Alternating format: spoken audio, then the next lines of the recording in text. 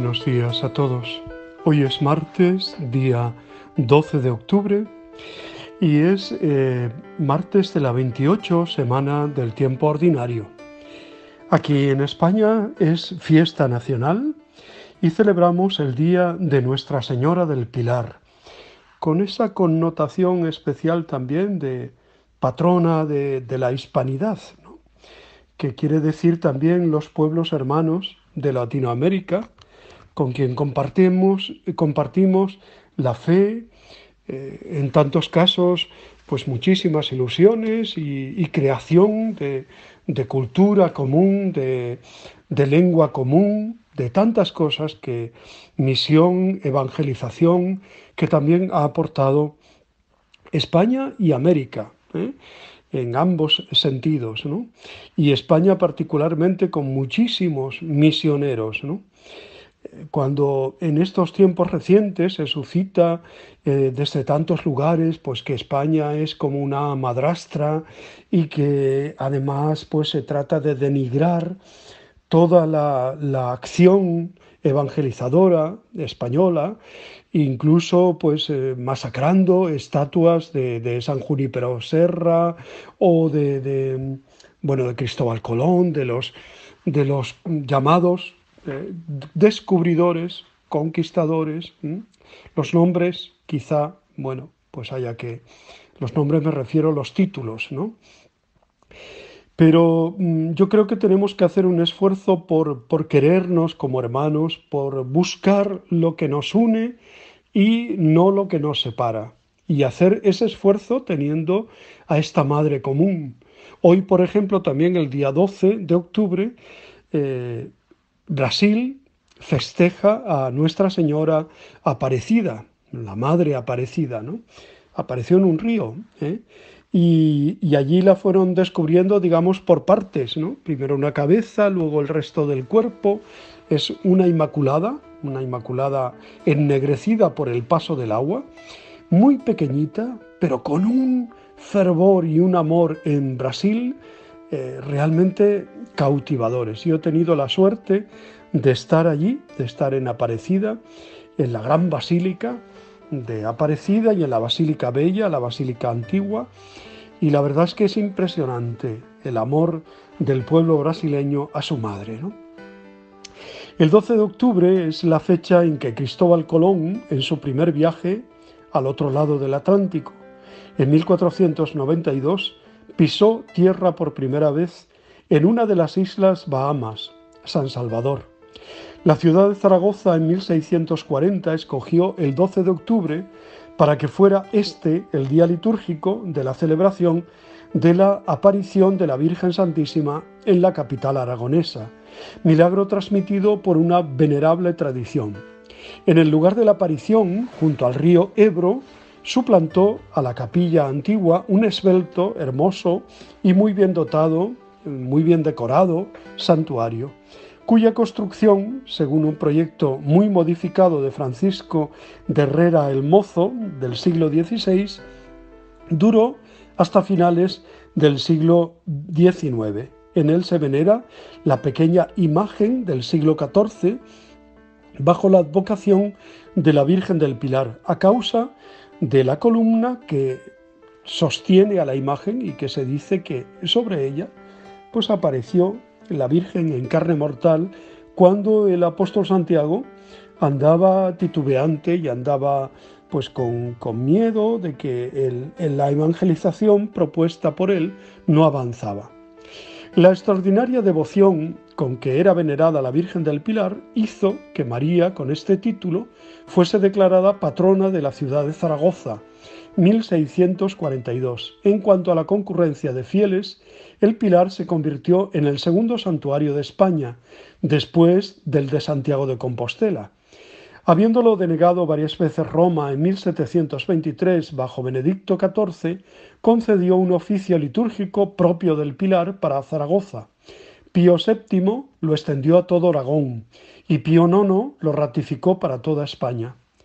La coronación canónica de la imagen de la Virgen tuvo lugar el 20 de mayo de 1905 Sobre todo a principios del siglo XX se extendió por Hispanoamérica la devoción a Nuestra Señora del Pilar.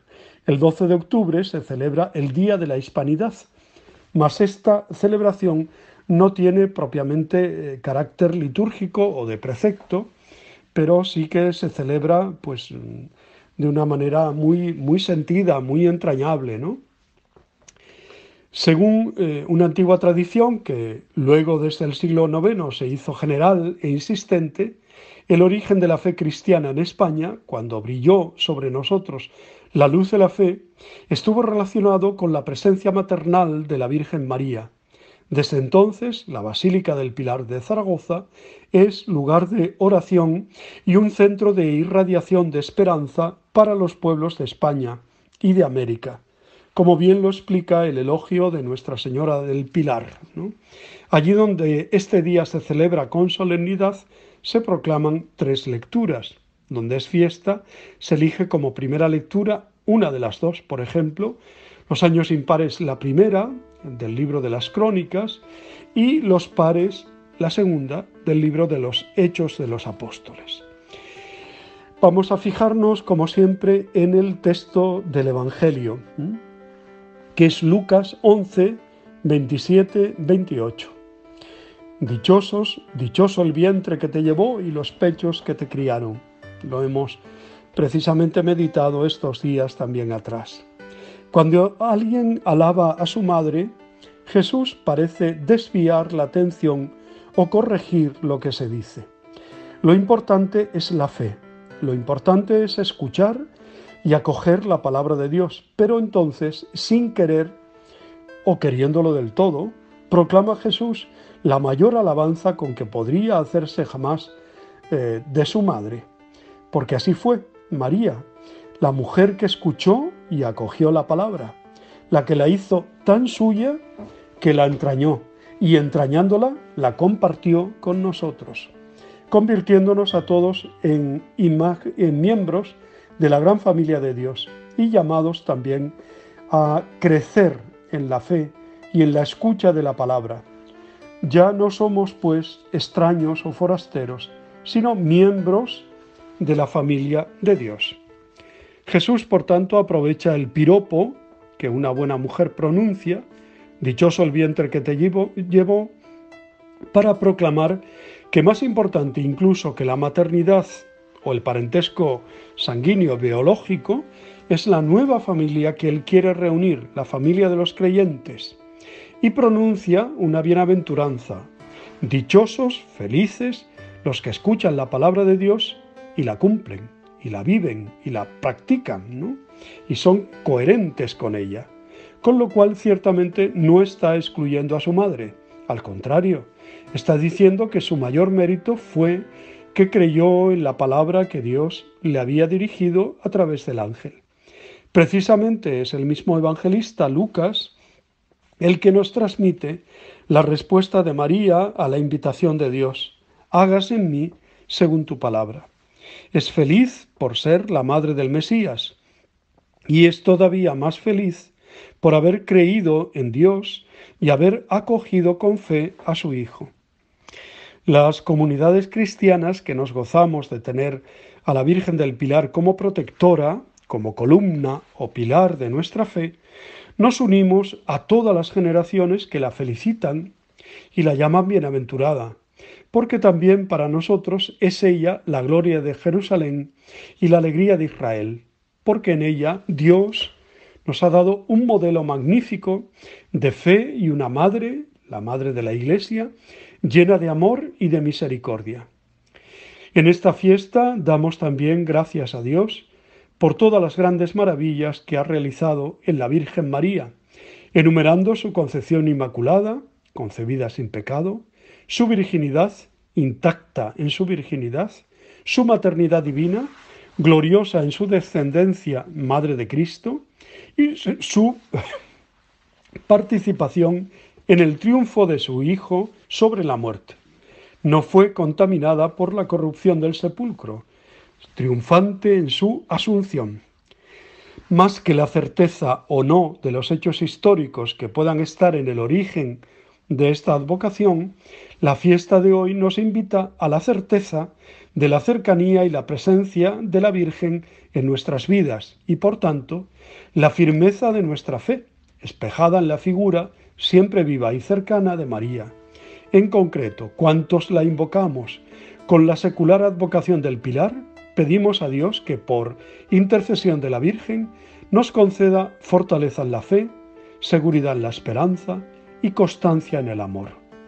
Permanecer firmes en la fe y generosos en el amor, y que finalmente podamos contemplarte eternamente en el cielo. Eso es lo que todos deseamos, que la Virgen del Pilar sea para nosotros guía para el camino, que sea realmente columna para la esperanza ¿eh? y que no dejemos nunca de, de invocarla y de tenerla muy cerca de nuestro corazón, de nuestra vida, que sea auténtica columna de, esperanza, de consuelo. Termino repitiendo esa maravillosa eh, poesía o poema que hizo San Bernardo y que se titula Mira la estrella. Si te arrastra el huracán de la tentación, si te doblegan el dolor y la angustia, mira la estrella, acude a María. Si te anegan las olas de la soberbia, te abruma la calumnia, la ambición o la envidia, mira la estrella, acude a María. Si la ira, la avaricia o el hedonismo amenazan la barquilla de tu alma, mira la estrella, acude a María. Si te turban tus muchos pecados, te avergüenzan tus acciones, te aterra la mala conciencia y estás al borde del abismo, mira la estrella, acude a María. No perderás el camino si la sigues, ni la esperanza si la invocas. En el peligro, en la pena, en la duda, mira la estrella, acude a María. Si ella te sostiene, no temas. No te se aparte su nombre de tu boca, no se aleje de ella tu corazón. Acude a María en toda ocasión. Pues eso es lo que os deseo, nos deseamos mutuamente todos. Querer mucho a la Virgen y acudir siempre a ella. ¿eh? Ella es pilar, columna de nuestra fe y de nuestra esperanza. Muchísimas felicidades a todos los que celebran hoy, a todas las que celebran hoy su nombre, la Virgen del Pilar. ¿eh? Pilar, Pili, eh, que un nombre muy popular. Felicidades también a los brasileños que celebran a Nosa Señora do Aparecida. Parabéns, hermanos y hermanas de Brasil. Y también muchas felicidades, por ejemplo, a la Guardia Civil, y que celebra hoy a su patrona, la Virgen del Pilar. Y felicidades a todos los españoles porque es el día de nuestra fiesta nacional, que sintamos orgullo de ser español y de pertenecer a esta nación que ha dado tantos y tantos santos a la Iglesia, que ha dado tan grandes escritores, tan grandes maestros, tan grandes pintores, tan grandes y tan humildes eh, personas, ¿no? Eh, que la hacen grande en todo su, su hacer, ¿no? Desde, no sé, pues personas que trabajan en, la mar, en, el campo, en, en, tantos y tantos, eh, en los medios hospitalarios, en, todos los lugares, ¿no? Todos. Pues felicidades a todos los españoles también hoy. Y recemos los unos por los otros. Os deseo un feliz día, os abrazo y os bendigo en el nombre del Padre, del Hijo y del Espíritu Santo. Os quiero.